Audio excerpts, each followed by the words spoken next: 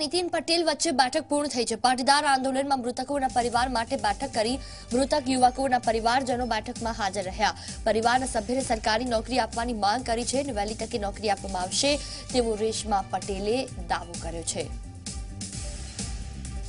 આ વિશે વધુ વાતચીત કરવા ગાંધીનગરથી કોરેસ્પોન્ડન્ટ હિતલ પારેખ અમારી સાથે ફોન લાઈન પર જોડાયા છે. હિતલ, રેશમા પટેલ અને નીતિન પટેલ વચ્ચે બેઠક યોજાઈ, જે શહીદ થયા છે. તેમના પરિવારોને સરકારી નોકરીને લઈને શું વિગતો હાલ?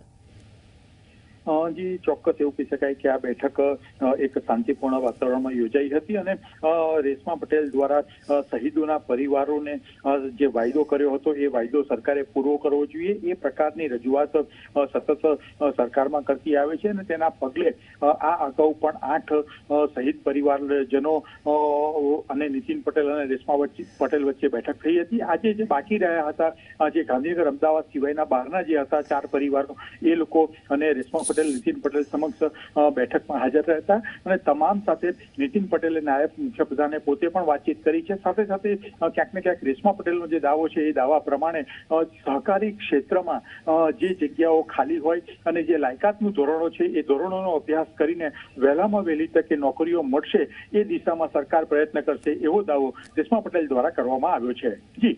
બિલકુલ, તમામ જાણકારી બદલ આભાર હિતલ.